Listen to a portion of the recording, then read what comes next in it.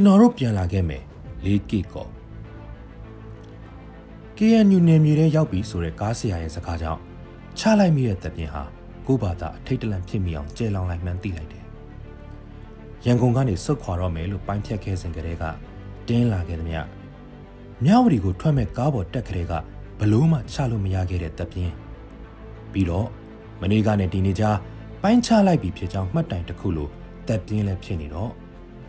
ဒါပေမဲ့အနောက်ကိုတစ်ချက်ပြန်မလှည့်ကြည့်မိအောင်လဲကျွန်တော်အတော်အားတင်းခဲ့ရတယ်။ဘာပဲဖြစ်ဖြစ်၃လေးလမကကိုဗစ်ကိုကြောက်ခဲ့ရသမျှတော်တော်ပေါ့ပါသွားခဲ့တယ်။အိမ်ထဲကနေအိမ်ပြင်မထွက်ရဲခဲ့တဲ့ဘဝကိုမျက်စိရှိတင်ကိုမိတ်ဆွေတွေပင်မပြောမဆိုနဲ့ဖြစ်တယ်လို့လစ်သွားရတာဆိုတော့ခဏတစ်ဖြုတ်အပြင်ထွက်တော့လဲဘသူနဲ့မှตาချောင်းမာချောင်းတော့မပြောရဲခဲ့တဲ့ဘဝအိမ်တကားကိုဆွဲဖွင့်ဝင်ပြီးနောက်လက်ကင်တန်းတွေအကုန်ခြေလက်ခံတာဖျန်းလို့ရသမျှအကုန် တခန်းလုံးအရက်ပြန်နဲ့နေနဲ့အသက်ရှူကျက်လို့အဝတ်စားတွေအမြန်ချွတ်ချစ်ချစ်တောက်ရေပူတဲ့အမြန်ထက်ခေါင်းလျှောရေချိုးမျက်နှာကို virus တွေအကုန်သေးချောင်းအာမခံထားတဲ့ Dettol ဆက်ပြန်နဲ့နာနာတိုက်ရပြီးတော့ကိုကအာနာရှင်စန့်ကျင်ရေးအရေးသားတွေနဲ့ထင်ရဆိုင်နေလေတော့စင်ပဒတ်တန်ကြမ်းကြမ်းတွေကဘယ်ချိန်ကိုဘဝကိုဆွဲပြစ်လိုက်မလဲဆိုတာလဲကြောက်ရပြန်တယ်ဘယ်သူမဆိုဘာမဆိုဖြစ်သွားနိုင်တဲ့ခင်မှာရုံးကန်တပုံထနေတဲ့ကိုသွေးသားကြောင့် ကိုမိသားစုပါနင်းချေဖြက်စီးခံရမလားအဲ့ဒါကိုအကြောက်ဆုံးမို့ရန်ကုန်ကနေကျွန်တော်ဆုတ်ခွာခဲ့တယ်လေးကေကိုရောက်တော့မယ်လို့ကားဆရာကထက်ဆိုလိုက်တော့မှောင်နဲ့မဲမဲနေရာတစ်ခုကိုရောက်နေမှကျွန်တော်တွေ့ရတယ်မြဝတီမြို့ပေါ်ကနေဟိုချိုးဒီကွိနဲ့နိုင်ဝက်လောက်တော့ကြာမယ်ထင်ရတယ်လေးကေကိုဆိုတာကျွန်တော်နားနဲ့တိတ်ဆိမ့်နေသေးတာကြောင့်လေးကေကိုဆိုတဲ့နာမည်ဟာအာယုံတဲ့ချက်ချင်းဝင်ချက်ချင်းထွက်ပြီးအမောင်ခင်းထားတဲ့ဝင်းကျင်သာကြီးစိုးနေခဲ့တယ် ရှေ့မှာလေးကိတ်ကောမြို့ဝင်ဂိတ်လိုကားဆရာကပြောလဲပြောကားကိုလည်းရက်ကားပေါ်ကဆင်ပြီးစစ်ဆေးခံလက်နက်ကင်ထားတဲ့ KNU စစ်သားတွေကိုမြင်လိုက်ရပြီမဲ့စိုးရင်စိတ်အရေးရောင်တော့ဖြစ်မလာတာဟာကိုးစားလောင်နေတဲ့မျောလင်းချက်တစ်ခုမှကြည်နေရတယ်ကားတွေကိုသူတို့ကြည့်တယ်အိတ်တလုံးကိုမြင်ပြီးအခုမှရောက်လာတာလားလို့ပြီးတော့ဟုတ်ကဲ့တင်းရှောင်လားဆိုတော့ကျွန်တော်နားမလဲနိုင်ငံရေးအရာတင်းရှောင်လာတာလားလို့ထပ်မေးတဲ့အခါမှာသဘောပေါက်ရတယ် ကျွန်တော်တို့စီမှာတင်းရှောင်လို့ပဲအတူကောက်ခေါ်တယ်တဲ့ပထမဆုံးကြားရတဲ့၄ကီကောဝေါ်ဟာရာကျွန်တော်ဟာ၄ကီကောတကောင်စရင်နဲ့ဒီနေ့အတွက်နောက်ဆုံးထပ်တူးတင်းရှောင်တယောက်မှနားလည်လိုက်ရတယ်လမ်းမကောင်းမှုဆိုတာသိလိုက်တယ်လမ်းမီဆိုတာကလည်းအမှောင်မှဝတ်တွားမရဲတရဲလင်းနေပုံကျဲတောက်တောက်ညဟာ၈နာရီမထိုးသေးပေမဲ့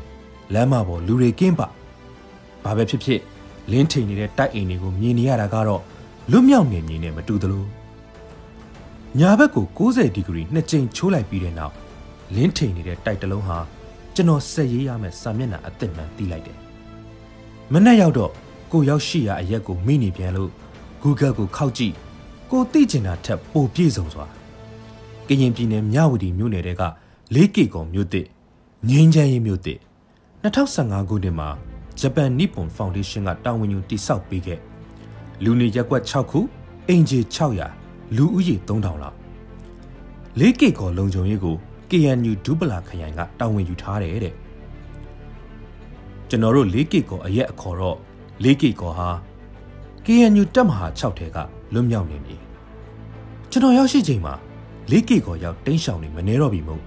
လေးကီကောကဂျပန်ဆောက်ပေးခဲ့တဲ့တိုက်တွေမှာအိမ်ငါတင်းရှောင်တွေအပြည့်ဈေးဆိုင်တွေလည်းအပြည့်ဝယ်ချမ်းနေကြသူတွေလည်းအပြည့် လေးကီကောဟာအခုမှနိုင်ငံရေးတင်းရှောင်သူတွေနဲ့မလိုင်နေဝိတ်အညွတ်အဖူးတွေတက်လို့ကားတွေစိုက်ကယ်တွေလည်းများလာတော့ဖုံတွေတိတ်နေတဲ့လေးကီကောရဲ့တခုတည်းသောအဓိကလမ်းမကြီးက Max တက်ထားဖို့အုတ်ထုတ်ဆောင်ထားဖို့တတိပေးနေတယ်လို့လမ်းမဟာနှိမ့်လိုက်မြင့်လိုက်နဲ့လှိုင်းတွေဝိနေတယ်လို့မျိုးဖုံနဲ့ဖွေးနေတဲ့လမ်းဘေးမှာမြို့သားတို့အကြိုက်ဝတ်သားတုတ်ထိုးဆိုင်ရှိလိုက်သေး ဘလို့ပဲပြောပြောရဲရဲတောက်ချိုနေတဲ့လက်ဖေးဆိုင်တွေကလည်းတဆိုင်မိတဆိုင်တိုးလာသေးအဓိကလမ်းမကြီးရဲ့အဆုံးမှာတော့ဘယ်ညာပြေးနေတဲ့လမ်းမကြီးတစ်ခုရှိတယ်